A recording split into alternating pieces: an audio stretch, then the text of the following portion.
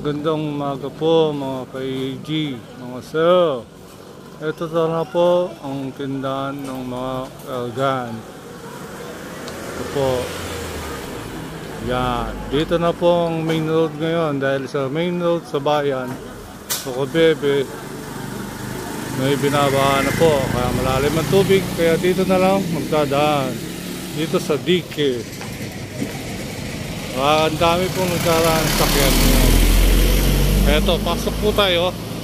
Tindahan. Okay, nandito na po yung mga organ natin. Okay. Ito po ang Junior Magno Terrano.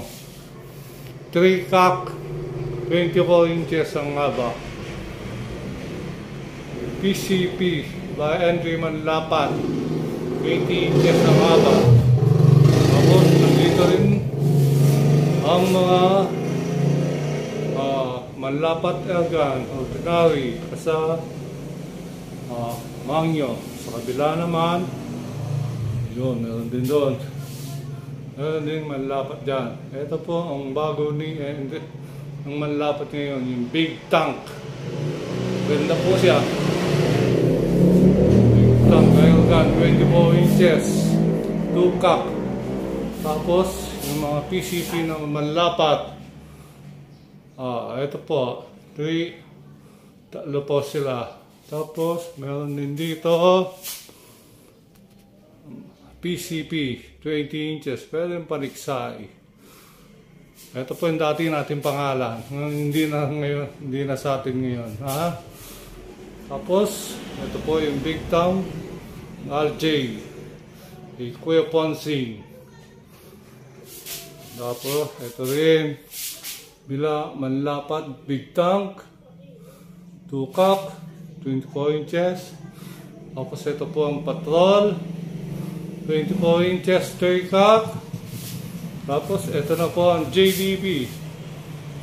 Kay uh, Belio. PCP. Battle tank. At ang mga reserva po. Mga accessories ng airgun, nandito na rin po.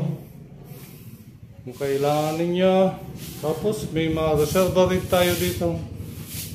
Uh, junior Manyo airgun. Okay, ganito na lang po. Sa lahat na nagtatanong, ng address 378 San Vicente, Purok 5, Makabebe, Pampanga.